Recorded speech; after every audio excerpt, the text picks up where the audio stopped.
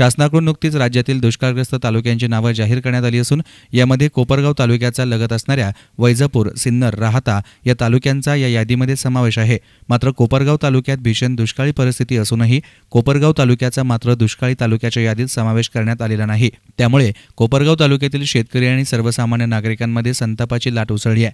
कोपरगाव तालुक्याचा दुष्काळाच्या यादीत समावेश करावा तसेच महावितरणने मोठ्या प्रमाणात सुरू केलेलं भारनियमन तातडीनं बंद करावे. शेतीसाठी करण्यात येणारा वीज पुरवठा रात्रीऐवजी दिवसा पुरेशा दाबानं करावा. वाढलेली महागाई आणि दररोज वाढत असलेले इंधनाचे दर नियंत्रणात आणण्यासाठी राष्ट्रवादी काँग्रेस पक्षाचे युवा नेते आशुतोष काळे यांच्या नेतृत्वाखाली तहसीलदार किशोर कदम यांना निवेदन देण्यात आलं.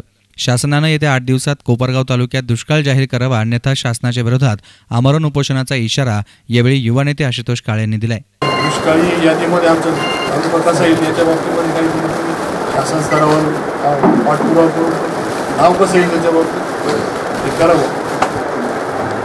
आणि सातत्याने शेतकरी असतील कोपरगाव तालुक्यातले बोंडाळीच्या सगळ्या लोकांना अजून मदत नाही मिळाली काही लोकांना मिळाली. रब्बीचं अनुदान आज दोन हजार पंधराचं असेल. त्याच्याही बाबतीमध्ये अन्याय झाला. सातत्याने मागच्याही पीक विम्याच्या बाबतीमध्ये देखील कोपरगावचं नाव खबर वगळलं गेलं? आई विषय आहे. हे सातत्याने शेतकरी असतील कोपरगावचे त्यांच्यावरच जाणार अन्याय होतो. कृषी कृषी खाते काय आकडेवारी देते हेच कळत नाही.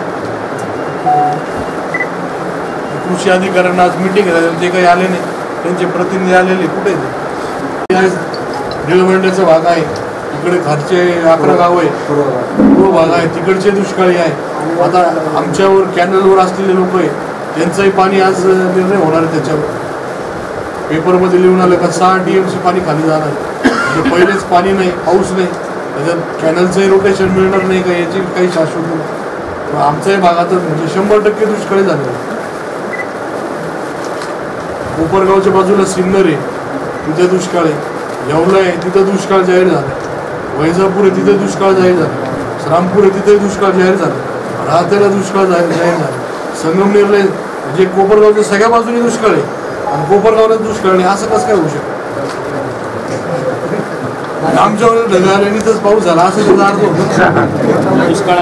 तर बावीस तारखेपासून आपण सर्वांनी आमरण उपोषणावर त्या ठिकाणी या ठिकाणी तहसील कार्यालयासमोर बसायचे याच्यासाठी आपण सर्वांनी मोठ्या संख्येने उपस्थित राहावं अशी मी स्वतः त्या ठिकाणी बसणार आहे. आपणही बसावं अशी विनंती या ठिकाणी करतो.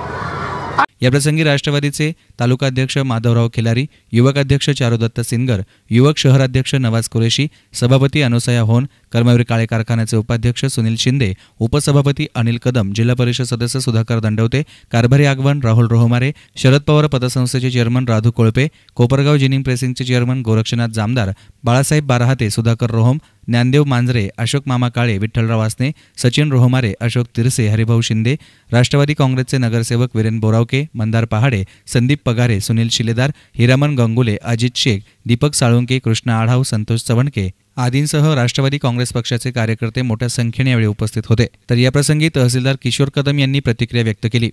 बैठ. तर यावेळी तहसीलदार किशोर कदम यांनी कोपरगाव तालुक्याचा दुष्काळी यादीत समावेश का झाला नाही याबाबत तांत्रिक गोष्टी सांगितल्या. त्याच्यात अनिवार्य हा एक फक्त शेवटचा निष्कर्ष आहे कारण तो शेवटी येतो.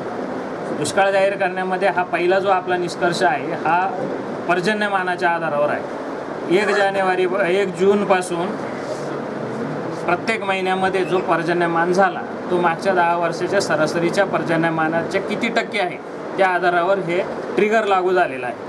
त्याला ट्रिगर म्हणतात पहिली कळ दुष्काळाची जर लागणार असेल तर त्याच्यासाठी जून आणि जुलै महिन्यामध्ये जो पाऊस पडला तो सरासरी पर्जन्यमानाच्या पन्नास टक्केच्या आत असेल. त्या तालुक्यांना तो लागू झालेला आहे. पाऊस कसा पडला हे आपल्याला डोळ्यानं दिसत नाही. ते पर्जन्यमापक यंत्र आहे आय एम डीचे त्या पर्जन्यमापक यंत्रामध्ये ती नोंद होती. आणि त्या नोंदीप्रमाणे आपल्या तालुक्यांमध्ये दुर्दैवानं तांत्रिक बाबीमुळे अशी परिस्थिती निर्माण झाली का पहिल्या दोन महिन्यामध्ये आपल्याकडे पन्नास टक्केपेक्षा जास्त पाऊस पडला सरासरी नंतरचे दोन महिने म्हणजे सप्टेंबर अखेरपर्यंतची आकडेवारी आता विचारात घेतलेली आहे. ह्या सप्टेंबर अखेरपर्यंतच्या आकडेवारीमध्ये देखील अठ्ठावीस दिवसाचा खंड पडणं आवश्यक आहे पावसाचा. असा खंड दुर्दैवाने आपल्याकडे पडलेला नाही. त्यामुळं आपण शासन निर्णयाच्या पहिल्या ट्रिगरमध्ये बसलेलो नाही. परिस्थिती जिथं पर्जन्यमापक यंत्र आहे त्या ठिकाणी पावसाची परिस्थिती आणि तालुक्याची इतर परिस्थिती तुम्ही मानता त्याप्रमाणे बरोबर आहे. परंतु तांत्रिक बाबीमुळं आपल्याला दुष्काळाचा ट्रिगर लागू न झाल्यामुळं पुढच्या सत्यापनाच्या ज्या प्रक्रिया आहे त्या आपल्याला पार पाडता आलेल्या नाहीत. तर आपलं निवेदन जे तुम्ही आम्हाला देणार आहे ते आम्ही शासनाकडे पाठवत आहोत. News reporter Yusuf Rangrez S media Kopargaon.